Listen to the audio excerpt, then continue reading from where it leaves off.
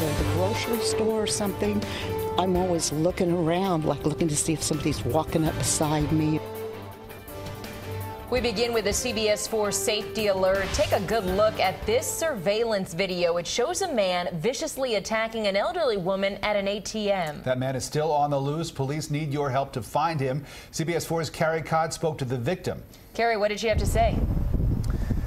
Well, she told me that she planned to deposit some cash into one of the ATMs here at this Pompano Beach bank a few months back, but before she could, she became the victim of a violent crime like he was getting money.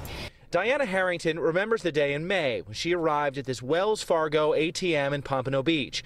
This guy was at an ATM apparently getting cash, so she felt safe walking up to make her transaction.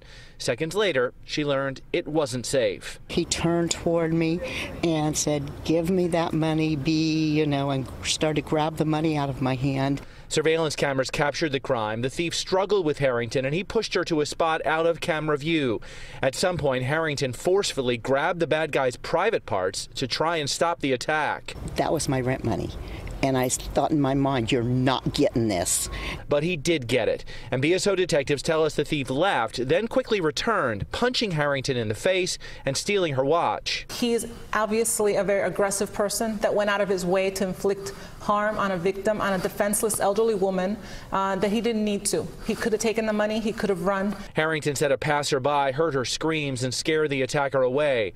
She suffered only minor physical injuries, but bears the scars of emotional ones. When I go to the grocery store or something, I'm always looking around, like looking to see if somebody's walking up beside me. The crime happened in May, but BSO is only telling us about it now because they pursued some seemingly strong leads on this guy, only to watch them fizzle out, and they need the public's help.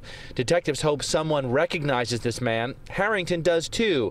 She has a few choice words to describe a man who attacks a woman somebody that just has no regard for anybody else at all.